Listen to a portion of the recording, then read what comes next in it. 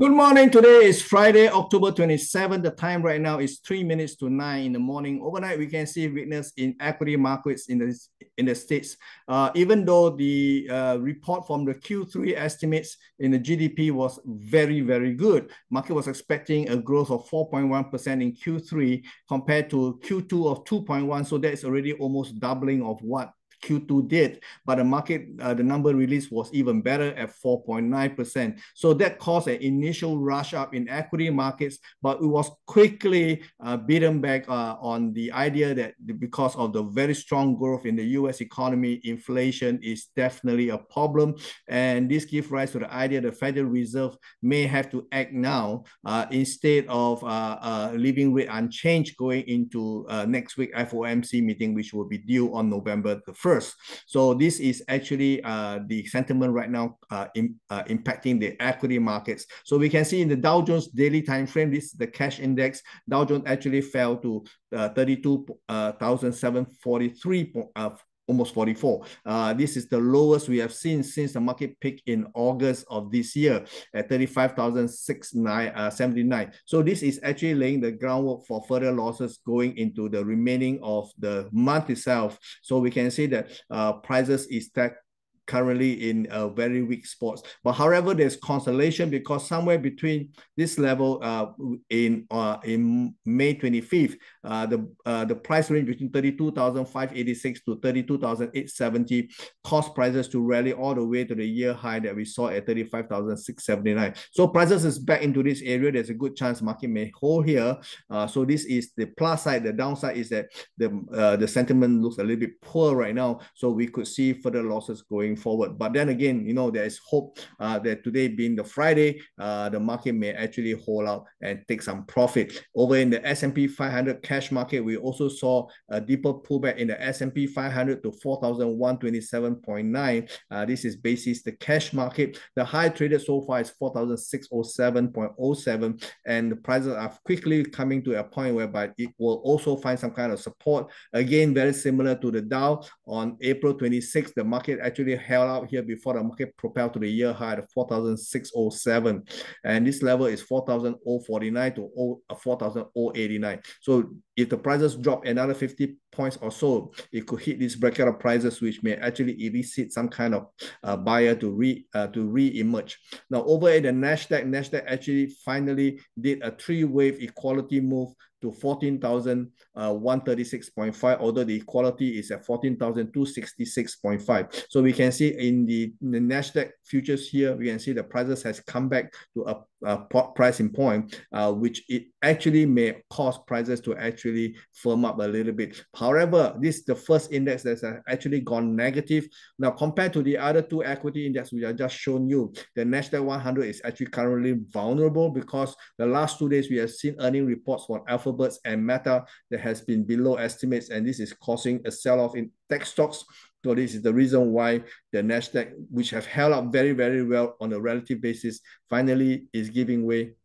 And this could actually saw uh, uh, cause the market to actually ease off a little bit. But by and large, we can see that this is actually a three-wave move. So far, there is no acceleration to the downside. However, if the market do decline sharply below 13,300, that will be a different story altogether, and we will have to reevaluate when that finally happens. Over in the Nikkei, we can see that the Nikkei is holding its own very well this morning at 30,700, uh, although I would believe that the overnight sell-off in US equity could actually spill over into Asia, and that may impact uh, uh, the Nikkei 225 going forward. Nikkei currently is not very far away from the low that we saw at uh, this month at 30,300, currently trading at 30,730. So a drop below this level, it is not impossible. So do look out for that. I think if that happen, I think there's a good catchment area between uh, 29,000 to 30,000. So do watch out for this 1,000 point range to hold the market, at least for now. Uh, over in Hong Kong, we can see Hong Kong market is holding barely above water. We can see that the market here uh, is touching an important level at 16,890, uh, 823. So uh, 823, this, this is the key level here, although the market do looks to be a sea of red to me. So this is actually laying the groundwork. If we do see a bounce, the bounce is likely to be kept somewhere between 18,051 to 18,417 in the futures contract. So likely to see more downside than upside. Okay. And over in the dollar index, the dollar remains quite elevated. Since Tuesday, we can see dollar currently uh, is trading at 106.61, although we are overnight high of 106.89. So this look and feel suggests that there will be further upsides in the dollar. And I think the market will probably be gunning for 109 at the bare minimum. So do look look out for further gains in the dollar. And we can see uh, in the euro versus the dollar, you can see euro dollar has returned back most of its gain that we saw early in the week on Tuesday. The high traded this week is 106.95 and now currently trading at 105.57. Uh, so likely to be the case. I think the market may actually go below 104.48 in the euro versus the dollar.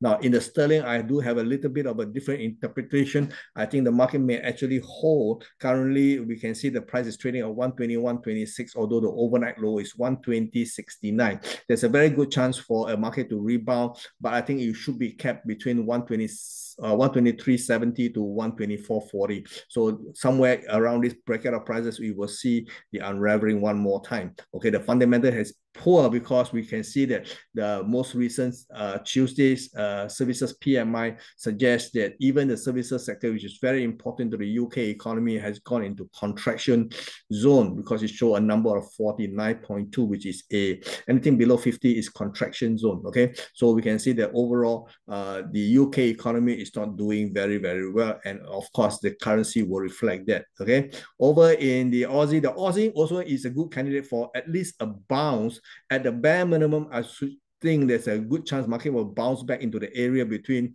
uh, 0.6380 to 0.6445. So this is a very, very small bounce, but again, uh, small victory will count as well, okay? So right now, this is the situation. Over in dollar yen, we do see a break above the 150 16 high uh, at the beginning of the month uh, to a high overnight of 150.78.